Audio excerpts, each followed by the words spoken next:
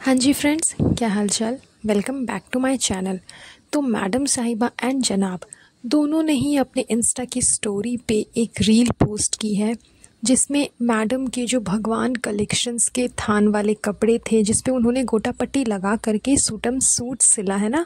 उन सूट्स के डिज़ाइन वो सारे सूट्स लगभग दो से तीन सूट मैडम ने अपलोड किया है रील बना करके, लेकिन लेकिन लेकिन लेकिन लेकिन अभी तक पूरी तरह से वो सूट दिखाई नहीं दिए हैं। इट मीन्स मैडम एंड जनाब दोनों ने ब्लर करके एक रील बनाया है, जिसमें दो तीन सूट्स को कंबाइन करके जनाब एंड मैडम ने दिखाया है अपने अपने इंस्टा की स्टोरी पे। कुछ येलो कलर में है, कुछ और कलर में है, कुछ लाइट पिंक कलर में है मतलब डिफरेंट शेड्स के अलग अलग कुछ अनारकली टाइप के सूट्स हैं। इसी तरह के सूट्स मैडम ने स्टोरी पे डाला है। तो जिस तरह के कमेंट थे नेगेटिव कमेंट मैडम के चैनल के ऊपर में उनके सूट को ले करके ऑन दी अदर हैंड उसी तरह के कुछ पॉजिटिव कमेंट्स भी जनाब के ब्लॉग के नीचे आए हैं। जब जनाब ने औरतों, कुछ औरतों को गालियाँ दी है। जनाब को तो खैर आदत ही है बदुआ देने की, लोगों को सुनाने की। तो जनाब का जब ब्लॉग ट्रेंडिंग में चला गया, जनाब ने अपने ये स्टोरी पे भी ये चीज़ दिखाई थी कि हैश टैग ट्रेंडिंग में मेरा ब्लॉग जा चुका है। तो जनाब का ब्लॉग जब ट्रेंडिंग में चला गया, उसके बाद जनाब के ब्लॉग के नीचे काफ़ी कमेंट्स आने लगे। लोगों ने ये कहा कि आप किसी को डीमोटिवेट मत करो। कोई अगर मेहनत कर रहा है तो उसकी कदर करो। हर इंसान परफेक्ट नहीं होता है, लेकिन कोशिश कर रहा है तो आप उसको सपोर्ट करो। ये वो फलाना ढमकाना मतलब काफ़ी कुछ कहा गया। तो जितने नेगेटिव कमेंट्स आए थे, उसमें से कुछ लोगों ने पॉजिटिव कमेंट्स भी किए हैं जनाब के व्लॉग में। अब अंधभक्तों ने डर के ये चीज़ की है या फिर जेनुअनी उन लोगों को ऐसा लगता है कि मैडम ने मेहनत की है तो मैडम को सपोर्ट करना चाहिए। ये तो अब अंधभक्त ही जाने बिकॉज़ जनाब ने भारी मात्रा में, भारी मात्रा में कुछ औरतों को बहुत ज़्यादा सुनाया है, बहुत कुछ कहा है।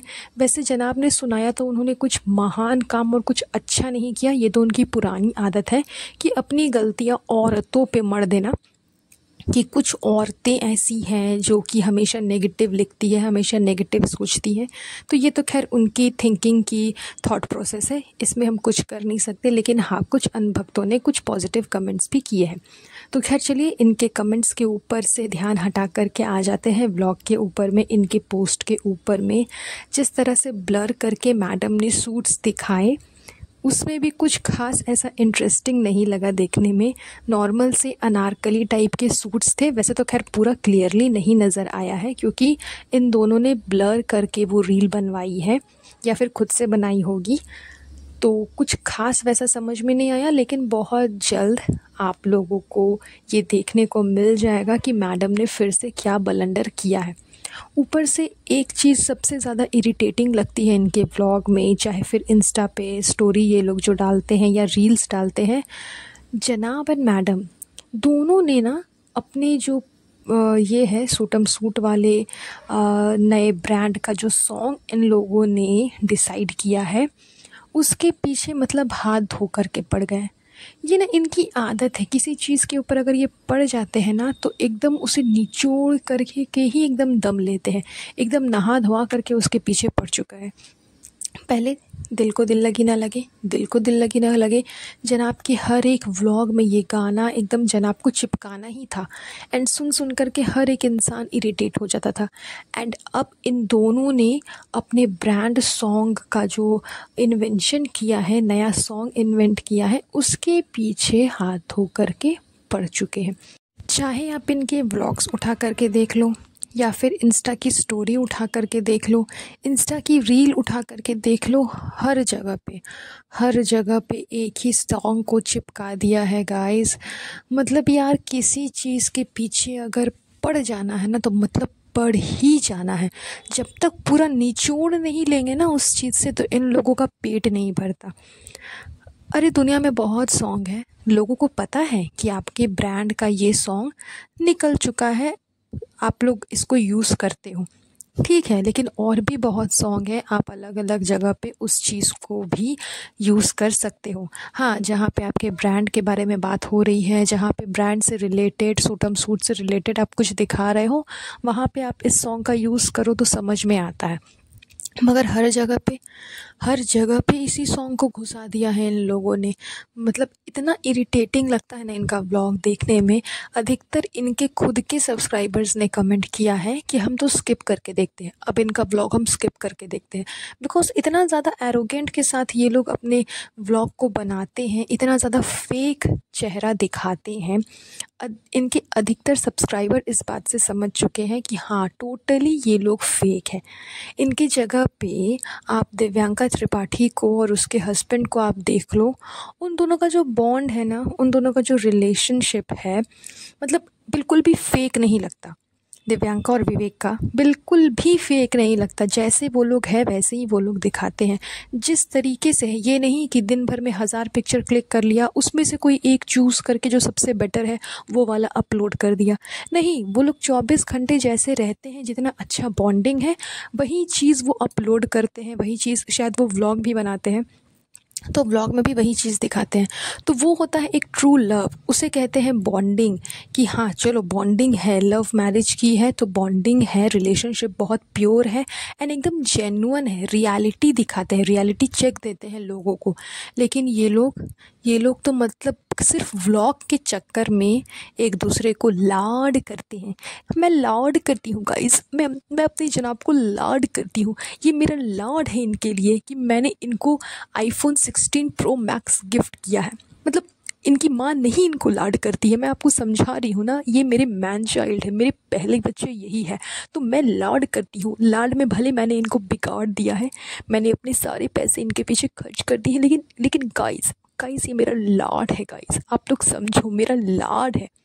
ऐसा कौन सा लाड? मतलब अपने बच्चे पे लाड नहीं करेगी, अपने बच्चे को कुछ ख़रीद करके नहीं देना है। मैन चाइल्ड को ख़रीद करके देना है बिकॉज़ अगर मैन चाइल्ड को नहीं दिया तो बदले में मैन चाइल्ड तो घर से ही बाहर निकाल देगा, फिर मैडम कहाँ जाएगी? वैसे तो खैर मैडम ने ये जितना भी रायता फैलाया है सूटम सूट का, इसमें जहाँ तक मुझे समझ में आता है मैडम का ही कॉन्ट्रीब्यूशन है।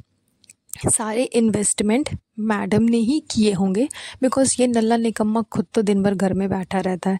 इसके बाद खुद तो मतलब दो रोटी खाने की इसकी औकात नहीं है तो ये मैडम के पीछे क्या ही इन्वेस्ट करेगा?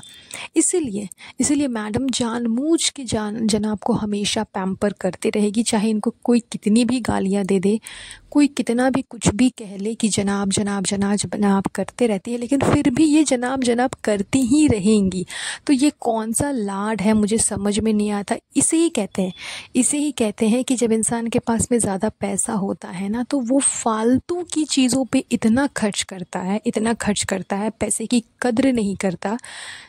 इसी सिचुएशन पे लोग इस तरह की बातें कहते हैं, क्योंकि मैडम ने ये चीज़ की है। पैसे खर्च कर कर के इंसान को बिगाड़ देना, ये इनके ख़ानदान की आदत है। चाहे वो फिर कोई भी हो, मैडम, जनाब, चबूतरा, तीनों में से कोई भी हो, चबूतरा ने भी फालतू के पैसे खर्च कर कर करके रिज़ा रेहान को ख़राब कर दिया है। मैडम ने फालतू के पैसे खर्च कर करके जनाब को ख़राब कर दिया है। बाकी जनाब और गुटका किंग तो खैर नल्ला निकम्मा बैठा ही रहता है। इनके पास में कहाँ उतनी फैसिलिटीज़ और कहाँ उतनी पैसे हैं कि ये दूसरे के पीछे इन्वेस्ट करके दूसरे को लाड करे। आज तक कभी मैंने ये नहीं देखा कि जनाब ने कहा होगा कि ये मेरा प्यार है, ये मेरा लाड है मेरी दिप्पी के लिए। कुछ भी नहीं। बस एक आध दो बार क्यूटीज़ चली जाओ या फिर एक दो बार बैग ला करके गुची के बैग्स ला करके दे दो या फिर गुची के शूज़ शूज़ तो खैर मैडम पहनती नहीं। गुची के बैग ही ला करके मैडम के ऊपर चिपका देते हैं। उतना ही काफ़ी है मैडम के लिए, वो भी डुप्लीकेट।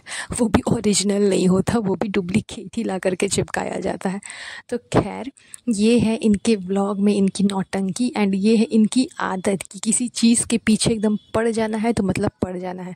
तो फ़िलहाल इन लोगों ने अपने सॉन्ग के ऊपर पूरा एकदम ध्यान दिया हुआ है कि उसके पीछे पड़ना है तो उस सॉन्ग के पीछे पड़ चुके हैं। अब देखिए, बहुत जल्द ये लोग पर्दा भी हटा देंगे, जो रील इन लोगों ने डाली है, उसको भी क्लियर कर करके बहुत जल्द देखने को आप लोगों को मिल जाएगा। मैडम का न्यू कलेक्शन न्यू ब्रांड तो आगे फिर पता चलेगा कि क्या झोल हुआ है। तो बस चलिए, आज का ये पॉडकास्ट यहीं पर एंड करेंगे। बहुत जल्द मिलूँगी आप लोगों से नए पॉडकास्ट पे। सो गाइज़ प्लीज़ मुझे कमेंट करके बताइएगा कि आपको आज का ये पॉडकास्ट कैसा लगा। एंड लाइक एंड शेयर ज़रूर करिएगा एंड मेरे चैनल को सब्सक्राइब कर दीजिएगा। तब तक के लिए अपना ध्यान रखिएगा। Have a nice day bye